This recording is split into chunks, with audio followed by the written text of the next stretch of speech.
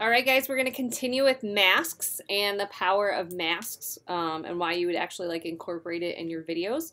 Um, so this one is going to be a little bit more complicated, um, but this is definitely that idea of we have a mask and something's going to show through. Um, so for this one, I'm going to composition, new composition, and um, this one's going to be called mask duplicate. It's my first and last name, mask duplicate. So we're going to also learn how to duplicate layers and how we can use that within our composition and then the date and year. And this one is going to be 10 seconds long. And background doesn't really matter for this one because we're importing our background. So we're going to hit OK.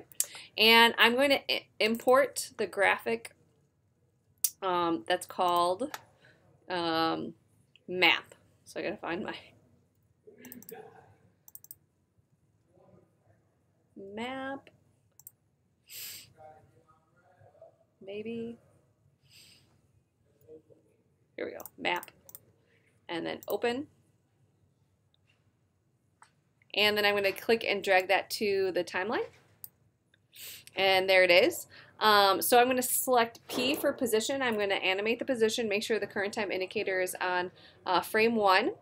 And I'm going to select the position and what I want is I want this to be off frame uh, stage left. And then I'm going to straighten that.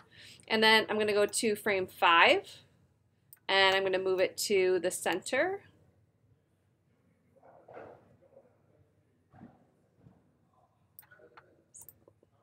Make this easier. There we go. And then I'm going to go to frame 10.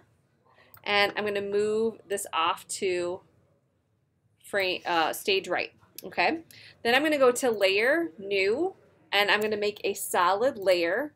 And I have a very specific color that I want this to be. So I'm going to select the black box here, and I actually have a code that I'm going to type in. So this is BDA17B, and hit OK, and then OK. And now I have the solid layer above my map. So what I want to do is create a mask um, and so what I'm going to do is go to that rectangle tool and I'm going to look for the ellipse tool. And a little secret here is if I hold down the shift button, I can make a perfect circle. So I'm going to click and drag while holding shift to make a perfect circle that is centered. And if it's not perfectly centered, then hit Command Z and start again.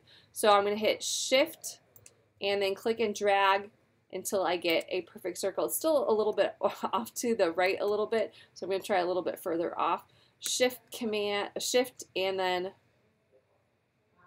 um, I'm clicking and dragging, and that looks a little bit more centered to me. Um, so now I want to, um, we can see that it's uh, a mask here now, but I want to um, make the map show, and I want that the background um, to be brown around the circle. So what I'm going to do is I'm going to go to um, mask one in the timeline and scroll down and um, I'm going to change the add to subtract. All right. And um, now um, we can see that when I um, go through this now, we have this map and I want this to look like it's a globe and it's spinning. But you can see that I really need to add more layers of the mask um, so that it looks like it's like continually looping around. So what I'm going to do is, um, I'm not going to get rid of this, but I'm going to hide it. So I'm going to pick the eye to hide the mask. And then I'm going to select, I'm going to collapse this so we can see it more easily. Then I'm going to pick the mask, the map layer, and then I'm going to duplicate that. I'm going to duplicate it by hitting Command D twice.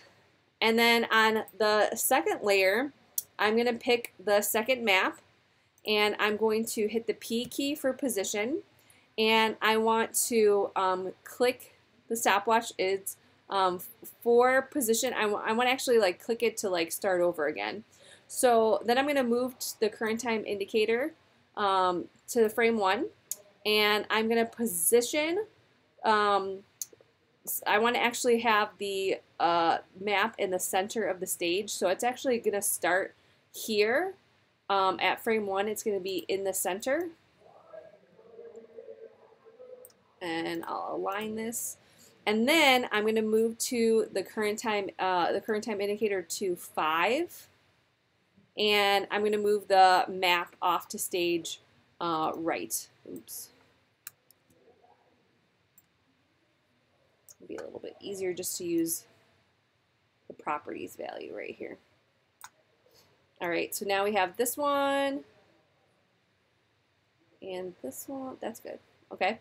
And then I'm going to pick um, map layer 3 and I'm going to hit P again to bring up position. I'm going to click on the stopwatch to reset um, the, the position, the animation, and I'm going to, um, on where it's uh, current time indicator frame 1, I want it to be um, off stage left. And I'm actually going to hide these two so I can see what I'm doing. I'm on this one. And I want this to be on stage, uh, very good, on stage left. And then I'm going to move the current time indicator to 5.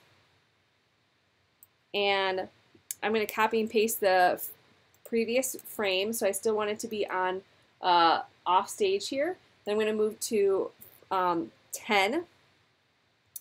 And I'm going to move the map to the center of the composition.